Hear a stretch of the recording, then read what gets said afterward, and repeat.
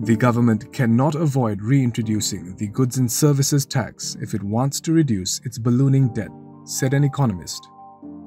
Carmelo Ferlito of the Center for Market Education said the GST was one of the most practical solutions to the country's 1.5 trillion ringgit debt problem.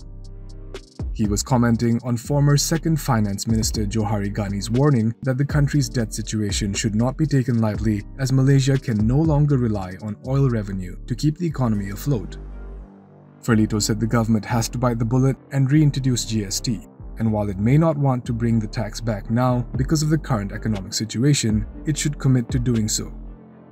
Last week, Prime Minister Anwar Ibrahim told the Dewan Rakyat the government will not reintroduce the GST and opt instead for more targeted subsidies.